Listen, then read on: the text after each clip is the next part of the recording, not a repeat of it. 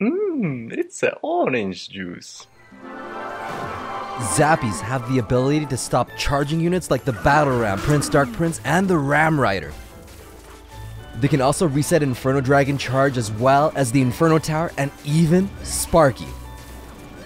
So Zappies are weak to Fireball and Poison. This makes them the perfect spell bait. They synergize really well with Three Musketeers because they can split with the 3M or they can bait Fireball. Sparky outranges and shoots faster than the Zappies. So the best way to counter Sparky with Zappies is to either throw down a cheap sacrifice or zapping that Sparky first. If it's a lone Sparky, you can surround her with your Zappies. Zappies stun just like the Zap does, causing enemy troops to retarget to the next closest unit and stunning them for 0.5 seconds always leave one going one side and two going the other side. Preferably having the one Zappy splitting onto the weaker tower so they're more tempted to fireball your higher health tower. A lone Zappy only gets one zap off of your tower, and if that's the only thing coming, just absorb it and focus on the other side that has two of them. That's 350 damage left ignored. If three are left ignored, they get 14 zaps for a total of 980 damage. Do not ignore three zappies. On the flip side, this is also a huge benefit of splitting Zappies when you're using them. That one Zappy is practically guaranteed damage. What are they gonna do? Put down goblins for one Zappy? Ah, that's a negative elixir trade.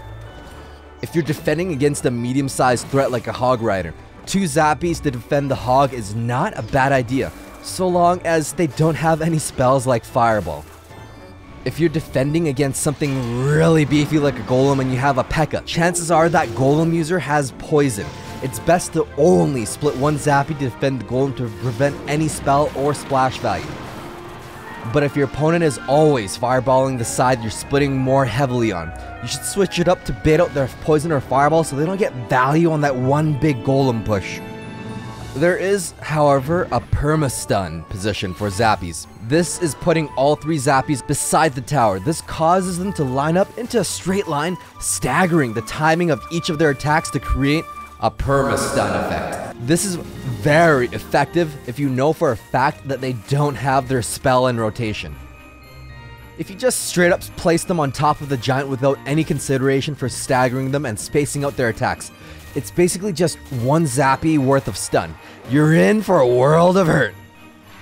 If your opponent doesn't have any support coming in, perma-stunning works on all major tanks, they'll barely be able to reach your tower if at all. The slower they are, the less likely they'll make it to your tower. Perma-stunning works on most major tanks like Giant P.E.K.K.A, Giant Skeleton, and even the Golem gets no death damage. If you plant them early enough, you can completely stop the Hog and the Ram Rider before they connect to your tower. This is the power of permastun. You can also do this by splitting them in the middle as their tanks come in. This separation from each Zappy creates distance for the tank to attack each Zappy. This also gives them less fireball value on your tower if they choose to fireball all three Zappies. This will cause the Zappies to lock on one by one.